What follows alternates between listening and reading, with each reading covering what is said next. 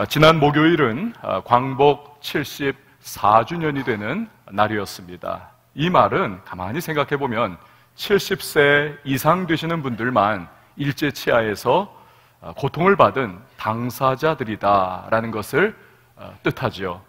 나이가 그보다 안 되시는 분들은 사실상 일제 치하에서 직접적인 고난과 고통을 경험하지 못했습니다. 그럼에도 불구하고 우리 민족이 겪은 어, 고난과 순환의 아픔이라고 하는 것은 어떻게 보면 우리의 유전 인자 가운데 깊이 박혀 있는 것이 아닐까 생각하게 됩니다. 그래서 뭔가 그 아픔을 건드리기만 하면 촉발되는 거죠. 마치 상처가 확 덧나듯이 그렇게 어, 우리에게 반응이 됩니다. 오늘도 계속되는 일본 제품 불매 운동이 어, 그것을 보여주지 않나 싶습니다. 외적에게 침공을 당합니다. 나라가 멸망합니다. 이것은 그 시대를 살아가는 사람뿐만이 아니라 오고 오는 세대에게 있어서도 민족적인 아픔과 또 위기 중에 위기라고 할 수가 있습니다. 오늘 유다 나라가 바로 그런 상황이었습니다. 당대 최강대국 중의 하나인 아수르 제국의 침공을 받았습니다. 고고학자들이 이 아수르 제국의 당시의 왕이었던 사네립의 비문을 발견을 했습니다.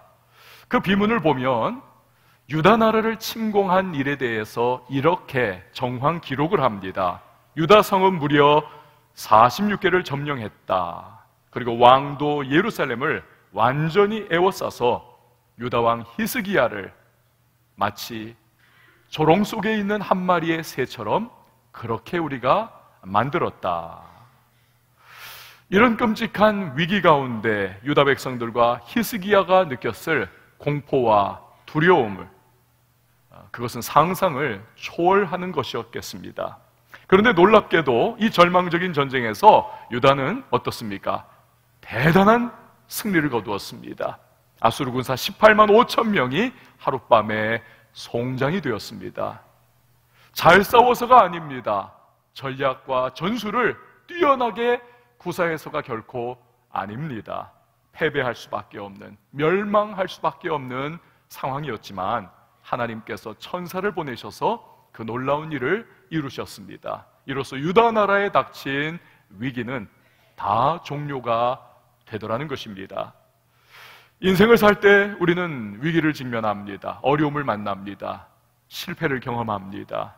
그것을 어떻게 극복할 수 있을까?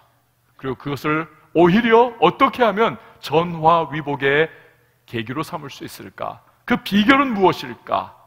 오늘 이 점을 우리는 히스기야와 유다의 위기 상황 속에서 살펴볼 수가 있는 것입니다.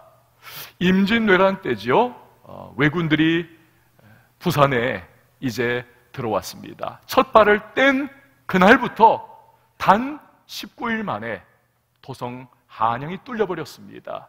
너무 짧은 시간이지요. 이걸 보면 조선이 전혀 전쟁의 준비가 되어 있지 않은 것을 우리는 알게 됩니다. 해도 너무한 거지요. 그런데 유다 나라가 그와 같았습니다. 단숨에 유다 성읍 46개를 무너뜨린 아수르 제국입니다. 이 군대가 파죽지세로 밀고 내려오는 것입니다. 예루살렘만을 이제는 남겨두었습니다. 빙 적군이 둘러싸고 있는 상황. 완전히 전의를 상실한 채 앞으로 다가올 가혹한 운명을 기다리고 있습니다. 그때 아수르의 왕의 군대 장관인 랍사게가 큰 소리로 외치는 것입니다. 오늘 보면 36장 13절에 보니까 이에 랍사게가 일어서서 유다 방언으로 크게 외쳐 이르되 너희는 대왕 아수르 왕의 말씀을 들으라. 여러분 오늘날 국가 간에 사용하는 공식적인 외교 용어는 주로 영어 또는 불어입니다. 히스기야 당시는 그것이 바로 아람어였습니다. 그럼 아람어로 외쳐야죠. 그렇지 않습니다. 랍사게는 굳이 유다말로, 유다방언으로 크게 크게 외치더라는 것입니다. 온갖 모욕과 협박을 하고 회유를 하고 하나님을 신성 모독하는 일을 하더라는 것이지요. 나무는 바람에 흔들립니다. 사람의 마음은 말에 흔들립니다. 포위된 유다인들의 마음을 완전히 무너뜨리기로 그가 작정을 한 것입니다. 오늘 본문 20절이 그 방점을 이렇게 찍고 있습니다. 이 열방의 신들 중에 어떤 신이 자기의 나라를 내 손에서 건져냈기에 여호와가 능히 예루살렘을 내 손에서 건져 내겠느냐 하셨느니라 하니라. 랍사게가 자기의 왕 사드립의 말을 전달하는 것입니다. 여러분 얼마나 두렵겠습니까? 얼마나 공포에 질리고 낙심되겠습니까? 하지만 한편으로는 지렁이도 밟으면 꿈틀한다고 우리가 이렇게 죽을 수는 없다. 찍소리라도 내자. 한번 싸우다가라도 죽자라고 그렇게 치고 일어날 수 있는 사람들이 있지 않겠습니까? 그런데 단 한 사람도 그 어떤 말도 하지 않더라는 것입니다. 한참을 유다방언으로 떠든 랍사게조차도 이런 반응은 전혀 기대하지 않았을 겁니다. 왜 그렇게 조용했을까요? 오늘 본문 21절 말씀 같이 읽어보도록 합니다. 시작. 그러나 그들이 잠잠하여 한 말도 대답하지 아니하였으니 이는 왕이 그들에게 명령하여 대답하지 말라 하였음이었더라.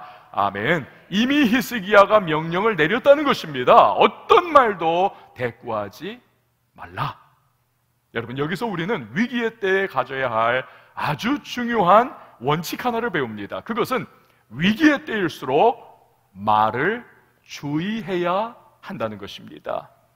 제럴드 레트너라고 하는 분은 영국 보석업계 최고의 거물입니다. 그런데 회사가 그의 말 한마디 때문에 완전히 망하는 지경까지 곤두박질을 칩니다. 기업가들의 행사가 열렸을 때입니다. 유명하니까 그에게 아 이제 처음에 연설하시라고 마이크를 전달했습니다. 올랐었습니다. 어색하잖아요. 분위기가 싸하잖아요. 아이 내가 유머 하나 해가지고 좀 어, 분위기 좋게 만들어야지. 농담을 했습니다, 여러분. 우리 회사 제품이 왜 이렇게 저렴한지 아십니까? 그것은 완전히 쓰레기이기 때문에 그렇습니다. 아, 자기 회사 제품을 다 깔아뭉개면서 시작하니까 얼마나 박장대소가 일어났겠습니까? 와! 하면서 박수를 막 치고 분위기 좋아졌습니다. 연설도 아주 멋들어지게 자연스럽게 끝냈습니다. 거기까지는 좋았습니다. 그 다음부터가 문제였습니다. 그 말로 인해서 이미지가 고착이 된 거예요. 레트노 회사의 제품은 완전히 쓰레기다. 아니, 그 보석을 누가 결혼할 때 프로포즈 보석으로 내겠습니까? 누가 목에 차겠고 귀에 걸겠고 누가 여기에 하겠습니까? 그때부터 매출이 급 수직 그냥 추락해버리고 1년도 채 되지 않을 때 파산 직전까지 갑니다. 결국 이 제럴드 레트너 회장은 지도자의 자리에서 사임을 하고 회사 이름도 바꾸고서야 겨우 이 회사가 다시 생존을 할 수 있었다라는 것입니다.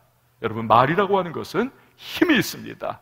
말대로 되는 것입니다. 이 말은 눈덩이와 같아서 그 말을 하면 할수록 영향력이 커집니다. 그래서 거기에 사로잡혀 버리는 것입니다.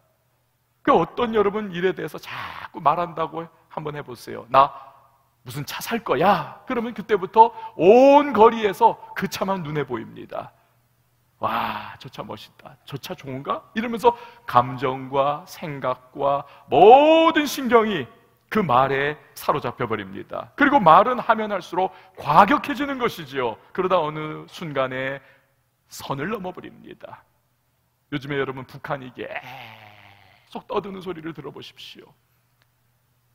이 동네 양아치, 조폭 세계에서나 할 그런 말을 이 외교의 세계에서 국가 간에 떠들어대는 그 목소리를 한번 들어보십시오. 있을 수 없는 겁니다. 과격해지고 더 과격해지고 지금 아수르의 랍사계가 바로 그와 같습니다.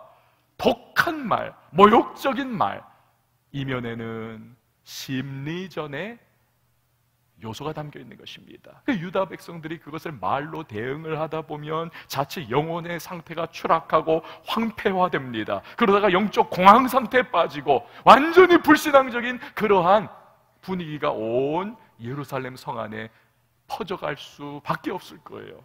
그럼 그 나머지 결과는 보나마나 뻔한 것입니다. 이걸 간파한 이스기야가 애당초 너희는 어떤 말도 대꾸하지 마라.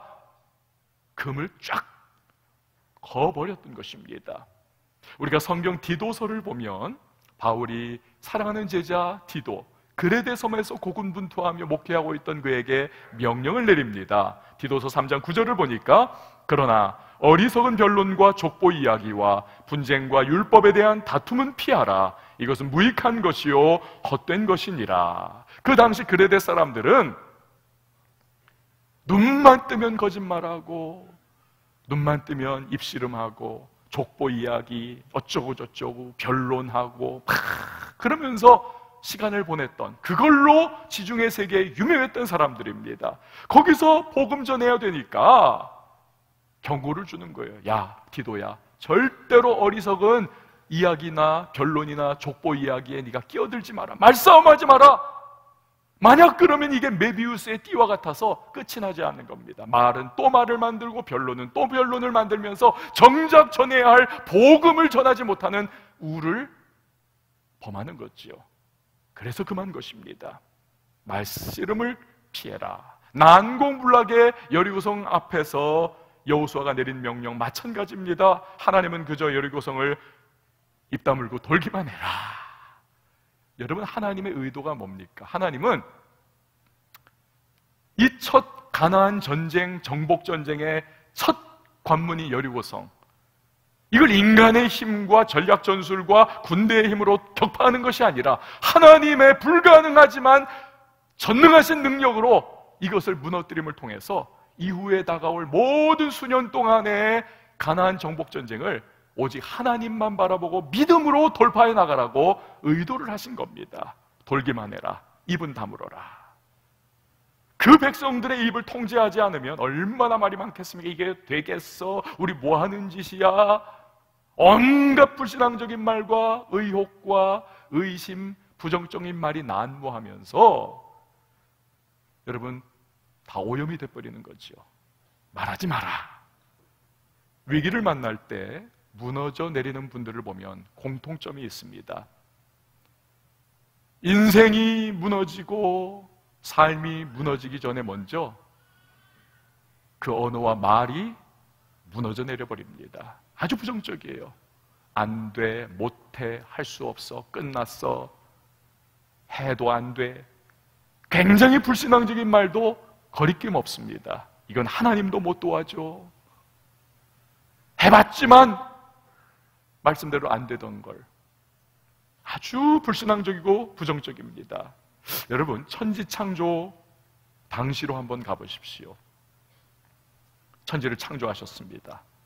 그리고 아담에게 짐승의 이름을 붙이라 하나님 명령하십니다. 여러분 히브리 사람들의 관념에서 이름을 붙인다는 것은 이것은 본질을 의미합니다. 그 사물의 본질과 운명을 의미하는 것입니다. 하나님께서 말씀으로 창조하신 그 짐승들에게 그러므로 아담으로 말미암아 아담의 말로 말미암아 그 운명과 본질을 부여하시는 것과 마찬가지라는 것입니다.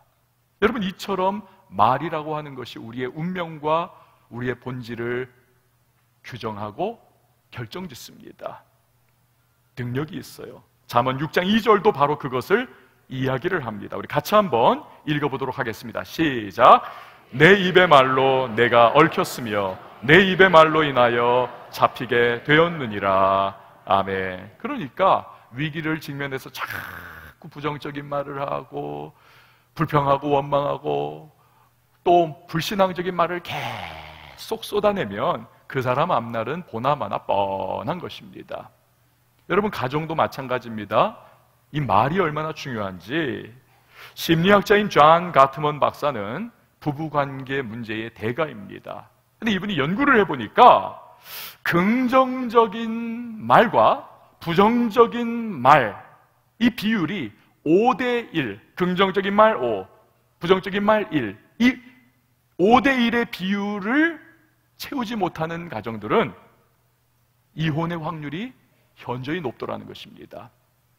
이 원리를 그래서 많은 가정들에게 대입을 해봤습니다. 그리고는 이혼 예측을 해봤더니 무려 94%가 적중을 하더라는 것입니다. 사랑하는 성도 여러분, 여러분 가정이 위기를 직면할 때 가정에서 쓰는 말은 과연 어떤 말들이십니까? 제가 오래전에 그랜드 캐년에 갔다가 그 근처에는 후버댐이라고 하는 곳을 들른 적이 있습니다. 어마어마한 댐입니다. 이 댐이 얼마나 큰지 그 댐을 인공으로 만들어 놓은 그 밑에 인공 호수가 생겼습니다. 그렇죠?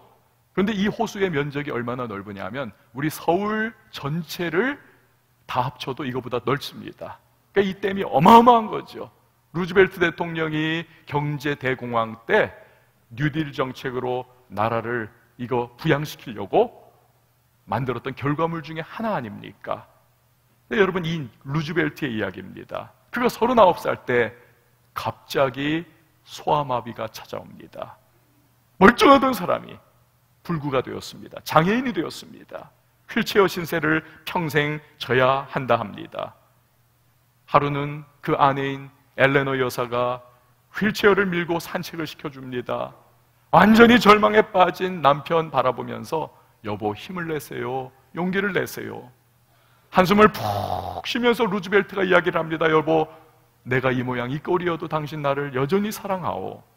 아니 무슨 말이에요? 내가 지금까지 당신의 두 다리를 그것만을 사랑했다는 건가요? 저는 당신 자체를 사랑했어요. 이 말에 루즈벨트가 용기를 넣습니다. 나를 사랑해주는 아내가 있구나. 그 말을 붙잡고 다시 일어납니다. 다시 정치계에 뛰어듭니다. 결국 그가 대통령이 되고 그가 뉴딜 정책으로 경제 대공황을 극복합니다. 이후에는 2차 세계대전을 승리로 이끕니다. 아내의 따뜻한 격려와 위로의 말 한마디가 남편을 살리고 세계를 살리더라는 것입니다. 여러분, 문제는 말이 이렇게 중요한데 우리의 본성은 타락했습니다. 자꾸 타락한 본성에서 나오는 말이 부정적인 말, 불신앙의 말, 자꾸 덕을 허무는 말, 원망과 불평의 말. 이걸 쏟아내고 싶어서 입이 근질근질합니다. 또 마귀는 우리 가정과 우리 개인과 우리 주변과 공동체를 허물어 버리기 위해서 자꾸 말을 쏟아내도록 그렇게 우리를 유도하고 부추깁니다. 그 많은 사람들이 위기 앞에 직면할 때 분노의 말 쏟고 비난의 말을 쏟고 부정적인 말, 불신앙의 말을 터진 댐에서 물이 쏟아져 내려오듯이 그렇게 다 흘려보냅니다. 그 결과 신앙 인격이 파탄나고 믿음이 실종됩니다. 하나님의 능력과 축복의 통로가 완전히 막혀 버리는 것이지요.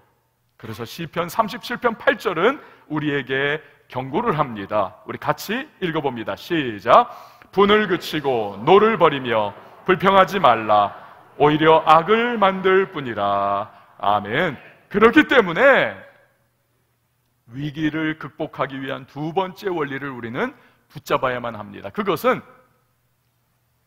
자꾸 위기 때에 사람 쫓아다니면서 말하고 하소연하고 원망 불평하려고 하지 말고 내 현실 그대로를 끌어안고 하나님께로 나아가야 된다는 것입니다. 오늘 37장 1절 이 한 구절을 한번 좀 보세요. 우리 같이 읽어봅니다. 시작. 히스기야 왕이 듣고 자기의 옷을 찢고 굵은 베옷을 입고 여호와의 전으로 갔고 아멘. 신하들이 랍사게의 말을 히스기야에게 전달을 했습니다. 이렇게 이렇게 하나님을 모욕하고 이렇게 이렇게 당신을 모욕하고 이렇게 이렇게 우리에게 죽는다 다포로 잡혀간다 항복하라. 이렇게 우리를 모욕했습니다. 참담합니다. 히브리 사람들은 너무나 절망적이고 비극적인 상황 앞에서는 옷을 찢습니다. 왕이 그래서 옷을 찢는 거예요 왕복을. 굵은 베옷을 입습니다 하나님의 전으로 달려갑니다. 생각해 보십시오. 이 순간 히스기야가 얼마나 하고 싶은 말이 많았겠습니까? 얼마나 누군가 붙잡고 그 공포의 마음, 두려운 마음, 억울한 마음, 내가 왕인데 그래도 일개 신하 하나가 군대 장관 하나가 나를 이렇게 모욕한다고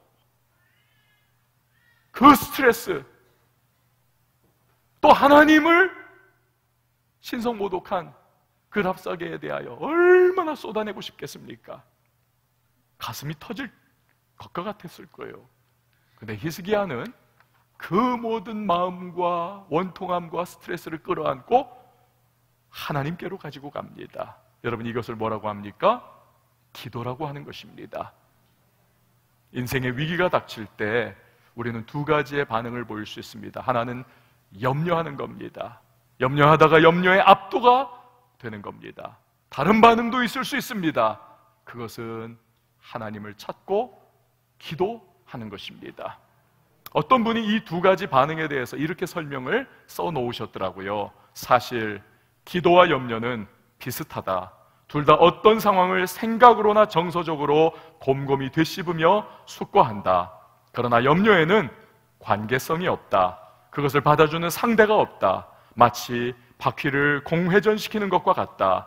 반면 기도할 때 우리는 염려를 하나님 앞에 가져간다. 염려를 그분께 맡긴다. 기도하라. 하나님께서 염려하시게 하라고 했던 마틴 루터의 말은 바로 그런 뜻이다. 저를 한번 따라해 주시면 좋겠습니다. 기도하라. 하나님께서 염려하시게 하라. 할렐루야. 여러분 히스기야가 바로 그겁니다. 국가적인 위기라고 하는 현실을 끌어안고 하나님께로 나아가 기도로 쏟아내는 겁니다. 그 하나님의 날개 아래 그 하나님의 품을 피난처 삼아 기도로 그 안에 들어가는 것입니다. 우리 사람은요 어떻습니까? 누군가가 자꾸 부담스러운 말을 쏟아내고 부정적인 말을 쏟아내고 막 마음에 있는 아픈 슬픔들을 막 쏟아내면 처음엔 들어주다가 이 용량이 점점 차면 우리는 슬슬슬슬 피합니다. 아 좀 그만했으면. 그러다가 내 용량을 넘어서는 말을 자꾸 하면 우리 도망쳐 버립니다. 심하면 그 사람과 관계를 끊어버려요. 너무 부담되기 때문에. 하나님은 그렇지 않습니다. 우리가 아픔을 끌어안고, 문제를 끌어안고, 위기를 끌어안고, 심지어는 우리의 원망과 불평마저도 끌어안고, 하나님께로 나아가 쏟아내고, 하나님께 쏟아내고, 하나님께 아뢰고, 하나님께 기도하면, 우리 하나님은 우리가 기도하면 할수록, 하나님께 아뢰면 아뢰수록 더 가까이 와 주시고, 가까이 와 주시고, 나와 함께 해 주신 분이 우리 하나님이신 줄 믿습니다. 그분의 그늘 아래 그분을 피난처 삼아 거하게 되는 것이지요. 시편 57편 1절을 보면 다윗이 사울을 피해 굴에 숨어 있을 때 고백을 하고 있습니다. 하나님이여 내게 은혜를 베푸소서 내게 은혜를 베푸소서 내 영혼이 주께로 피하되 주의 날개 그늘 아래에서 이 재앙들이 지나기까지 피하리이다. 골리앗 쳐 죽였습니다. 나라 구했습니다. 영웅입니다. 근데 보상을 못 받고 왕의 살해 1호 암살 명단에 기입이 되고 그때부터 망명생활 쫓겨다니고 목숨을 구하고 하루살이 생활을 시작합니다. 얼마나 억울합니까? 그런데 그 모든 현실을 다윗은 하나님께 기도로 나아가 그분의 그늘 아래 피합니다. 여러분 이것이 다윗이 십수년의 그 모진 나라의 최고 통치자의 끊임없는 압박과 살해 위협 속에서도 견디고 견디고 승리할 수 있었던 원동력이었던 것입니다. 여러분 위기의 순간을 직면할 때 나는 과연 어떤 반응을 보이는가 한번 가만히 생각을 해보세요. 한 가지. 근데 오늘 히스기야는 어디로 갔다고요? 성전으로 가더라는 것입니다. 성전으로. 여러분 어떤 분이 이런 말을 해요. 아니 뭐 기도할 때 하나님 어디나 계시는데 내가 뭐 꼭 교회 가서 기도할 필요 있나? 아, 우리 집에서 하면 되지 뭐. 틀린 말은 아닙니다. 그러나 하나는 알고 둘은 모르는 말입니다. 여러분, 장소에 기름 부으심이 있습니다. 오늘 히스기야 보십시오. 왕궁에서 자기의 침대 밑에 무릎 꿇고 기도할 수 있었어요. 그러나 왜 성전으로 달려갑니까? 성전에 하나님의 시선이 머무는 곳입니다. 하나님의 열린 귀가 늘 듣고 계신 곳이 성전입니다. 장소의 기름 부심이 있습니다. 장소의 기름 부심. 여러분 마찬가지죠. 오늘 교회 오랫동안 수십 년 동안 수많은 사람들이 이곳에 나와 눈물 쏟고 콧물 흘리고 통곡하고 자기의 아픔을 아뢰고 주님의 능력을 구하면서 기도했던 장소. 그래서 응답의 놀라운 역사를 경험했던 그 장소가 교회입니다. 교회는 시적인 표현으로 하자면 하늘 문이 열린 장소가 교회인 줄 믿으시기를 바랍니다. 교회 나와가지고 기도하는 거예요. 또 생각해 보면 우리가 현실에 그 막 복잡하게 얽힌 장소에서 내가 기도한다. 계획은 좋은데 기도줄을 놓치기가 너무 쉽습니다. 그러니 그걸 잠시라도 단절하고 교회에 그냥 진득하게 앉아가지고 여기서 주님 앞에 간구하는 것. 이게 귀한 겁니다. 며칠 전에 어떤 생전 처음 보는 젊은이가 저를 찾아왔습니다. 기도를 해달라는 거예요. 자초지종을 들어봤더니 아침이었어요. 이 청년이 이제 아, 비행기 부조종사 부기장 이제 아, 취업을 위해서 오늘이 최종 면접 날입니다. 그 면접을 보러 가는데 아침 일찍 내가 교회에 나와서 기도하고 가야지. 그 교회 나와가지고 그 면접 보는 모양 그대로 여기서 기도를 한 거예요. 그리고는 기도하는데 성령께서 마음에 감동 주시기를 너 담임 목사에게 가서 기도 한번 받아라. 그 마음 가지고 처음 보는 사이인데 기도를 받으러 온 거예요. 너무 귀한 겁니다. 이야, 심의간절히 기도를 해주고 제 책을 하나 선물을 해 주었습니다. 여러분, 우리 교회 이 주보를 나중에 집에 가셔서 보시면 이 안에 각종 기도회와 기도의 시간과 기도의 종류들이 있습니다. 새벽 기도, 금요 철야 기도, 뭐 24시간 기도, 어? 9시 기도, 십자수 기도원 올라가서 드리는 기도, 또 우리 교회의 릴레이 금식 기도 등등등등 많이 우리 교회는 하여튼 24시간 1년 365일 기도가 돌아갑니다.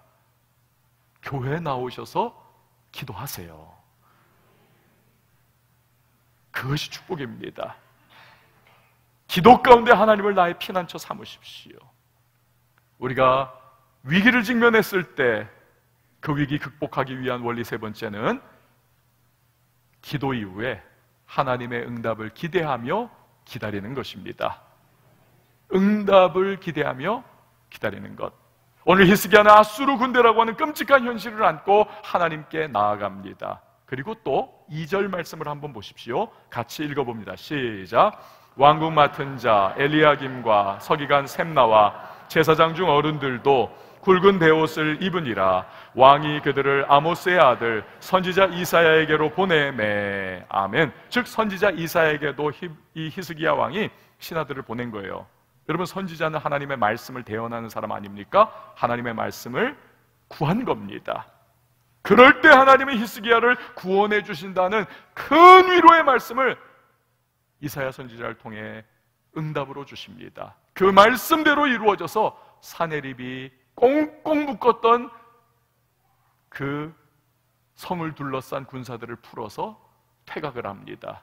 거기도에서 하나님께서는 천사를 보내셔서 18만 5천 명의 사내립의 군대를 하룻밤 만에 산송장으로 아니죠. 죽은 송장이죠. 만들어 버리십니다. 여러분 히스기야에게 대승이라고 하는 놀라운 영광스러운 복을 허락해 주신 것입니다. 이처럼 위기의 순간 하나님을 찾고 그의 응답을 기대하고 기다리면 반드시 응답 주시는 하나님이신 줄 믿습니다. 그리고 하나님의 응답은 좋은 겁니다. 선한 겁니다. 복된 거예요. 우리 교회에 어느 성도님 부부와 식사를 하면서 이런 이야기를 들었습니다. 밖에 나갔다가 밤늦게 들어갔는데 참 이상한 일이 생겼다는 겁니다. 여러분 우리 그 현관문에 그 도어락 있지 않습니까? 그거 띠띠띠띠 누르면 쫙 열리는 그 우리가 하루에도 수십 번 쓰지 않습니까? 그거를 몇 년을 똑같이 그렇게 쓰고 있었는데 이게 배터리가 나간 것도 아닌데 이게 안 열리더라는 겁니다. 신기하게도. 왜 이러지, 왜 이러지? 아무래도 안 열리더라는 거예요. 근데 그 시간에는 이 고3짜리 아들이 이제 학교 늦게까지 학교에서 이제 수험생이니까 공부하다가 집에 들어와서 그 밤늦게까지 또 밤새워 공부하기 위해서 잠깐 잠을 잔다는 겁니다. 그 시간이래요. 평소 같으면은 조용히 누르고 들어가가지고 이 부부가 안방으로 들어가시는데 이게 안 되니 어떡합니까? 아무리 해도 이상하잖아요. 그러니 초인종을 누르는 겁니다. 네가 좀 깨서 열어달라고. 그 아무리 근데 눌러도 이 고3 수험생 아들이 나오지를 않더라는 겁니다. 걱정이 됩니다. 야, 이거 강도라도 든 거 아니야? 그래서 하여튼 계속 눌렀다는 겁니다. 계속. 그랬더니 그제서야 나중에 이 아들이 부시시 힘없이 나오면서 그 문을 열고는 그 자리에 푹 주저앉아 쓰러지더라는 겁니다. 야, 야, 왜 그래, 왜 그래? 몸 반쪽이 다 마비가 되어 있더래요. 뇌경색에 맞은 겁니다. 19살짜리가. 고3 수험생이. 뇌경색에. 그 119를 불러가지고 긴급 후송을 하고 그 가는 앰뷸런스 안에서 이 아버지가 얼마나 울었는지 목사님 제 평생에 그렇게 울어본 것은 처음입니다. 병원에 도착해가지고 MRI 다 찍고 해봤더니 뇌경색 판정이 나고 의사는 그 분야에 아주 유명한 분인데 이 의사가 당신 그 아들은 이게 너무나 이게 문제가 많아서 평생 후유증에 시달린다. MRI 그 찍은 걸 보여주니까 완전히 반쪽이 뇌 반쪽이 죽어버린 거예요. 야, 이게 기가 막힌 노릇 아닙니까? 예, 그때부터 이분들이 기도를 시작합니다. 교회에도 중보기도를 요청을 하고 얼마나 눈물을 흘리면서 얼마나 이 위기 가운데 기도를 하나님 앞에 매달렸겠습니까? 그런데 그 막 기도를 하는데 어느 순간 마음에 성령께서 주시는 평강이 임하더라는 겁니다.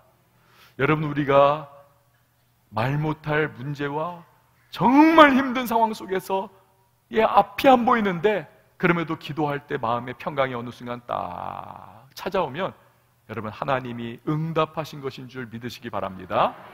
그 하나의 특징이에요. 이게 임한 거예요. 정말 그때부터 이 아들이 뇌경색 맞았던 이 부분이 풀어지기 시작하면서 아주 신속하게 막 호전이 되기 시작하더라는 겁니다. 그걸 보면서 그 쌀쌀하던 자신감 있게 이 아이는 평생 후유증에 시달릴 거다. 이 의사 선생님도 갑자기 태도가 바뀌어가지고 급 친절 모드로 바뀌더라는 겁니다. 이 아이가 일주일 만에 깨끗하게 나와가지고 퇴원을 했습니다. 그때가 여러분 수능 시험 한 달 전이었어요. 그러니까 뭐 수능 끝난 거죠. 엄마 아빠가 야 괜히 너 또 공부한다고 책 잡았다가 이거 문제 생기면 안 되니까 그냥 너 놀아라 쉬어라 한 달 동안 그냥 책 안 보고 그냥 지냈어요. 그래 수능이 어떻게 되겠습니까? 수능 당일날 엄마 아빠가 수능 시험 보러 간다고 하니까 야 가서도 너 그 신경 쓰면은 스트레스로 문제 생길 수 있으니까 그냥 그냥 색깔만 칠하고 와라. 이 아이가 그러고 왔어요. 근데 놀랍게도 모의고사 때 점수가 그대로 나왔다는 겁니다. 더 안 나오잖아요, 사실은. 그대로 나와서 이 아이가 자기가 원하는 대학에 들어갔습니다. 멋진 청년이 됐어요. 여러분, 한쪽이 완전히 이게 잘못된 이 뇌, 이런 일이 생겼습니다. 이분들이 말씀하셨습니다. 만약에 그때 도어락이 평소처럼 떼떼떼떼 촥 열렸다면 우린 이 아들 방에 안 주기 위해서 집에 방에 들어가 잠잤을 것이고 이 아들도 그렇게 쓰러진 상태 아침에 자기 침대에서 이 아이 평생 불구가 됐건 또는 심지어 이 아이는 죽었을 겁니다. 모든 것이 하나님의 은혜입니다. 사랑하는 성도 여러분, 하나님은 그 응답을 기대하며 기다리는 자에게 반드시 선한 가장 좋은 응답, 최선의 때에 주시는 줄 믿으시기를 바랍니다. 우리 인생의 위기가 찾아올 때가 있습니다. 그러나 성도는 무너지지 않습니다. 믿음, 그 믿음이 우리로 하여금 위기를 극복하고 승리하게 만들어주는 것입니다. 히스기야가 그것을 보여줍니다. 위기의 때에 우리 말을 조심해야 되겠습니다. 주의해야 되겠습니다. 그리고 내 안에 끓어오르는 그 말거리들, 그것을 가지고 하나님 앞에 나아가십시오. 기도로 주님의 품 안에 안기십시오. 기도 이후에는 선하신 하나님의 풍성한 응답이 최선의 때에 임할 것을 신뢰하면서 여러분 기대하며 기다리십시오. 제가 늘 말씀드리듯 우리의 문제거리를 기도거리로 바꾸면 그 기도거리를 하나님은 간증거리로 바꾸어 주십니다.